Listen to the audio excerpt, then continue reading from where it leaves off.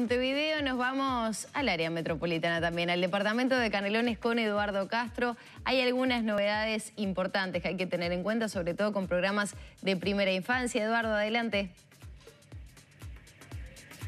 Hola Maggie, saludo para todos y bueno, estamos aquí en la Ciudad de las Piedras con la directora de Desarrollo Humano de la Intendencia de Canelones, con Gabriela Garrido, porque hace muy pocos días se lanzó el programa Mil Días de Igualdad con nuevos objetivos, nuevas acciones para esta edición 2022. Es un programa que desde el 2014 se viene desarrollando y bueno, apuesta a los primeros mil días de crianza de los niños que son tan importantes para, las personas. Y bueno, vamos a hablar con Gabriela Garrido. Buenos días, gracias por la nota. Y bueno, ¿cuáles son las prioridades de este programa que ya tiene unos años eh, por parte del gobierno departamental? Bueno, como ustedes saben, el gobierno departamental de Canelones ha apostado por la primera infancia, ha invertido en primera infancia.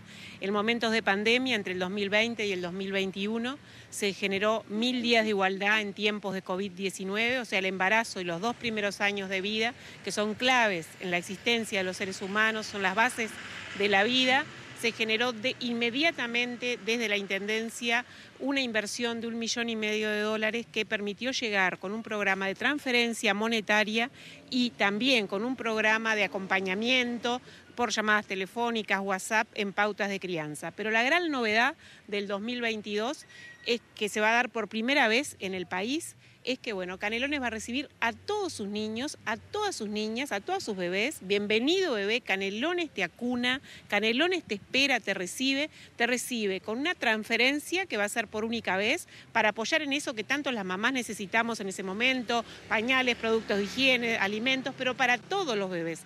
Es una tarjeta de carácter universal. Cualquier bebé puede llegar a esta transferencia, cualquier familia puede llegar a tener esta transferencia, pero lo más importante es que una vez que la familia ingresa al programa, se va a ver acompañada por un equipo experto en primera infancia en todo lo que es, eh, ¿verdad?, el desarrollo tanto de los problemas que se pueden tener en el embarazo, los controles, etcétera, como el primer año de vida, los primeros tres, los primeros seis meses, los primeros nueve meses, el amamantamiento, el cómo dormir, la comida, cómo cuidar, cómo cuidar con cariño, con amor, proteger. Esto es un sistema de protección integral a la primera infancia y lo trabajamos con varias instituciones. ¿Cómo ha sido el seguimiento y cuáles han sido eh, bueno, los resultados que ha tenido este programa?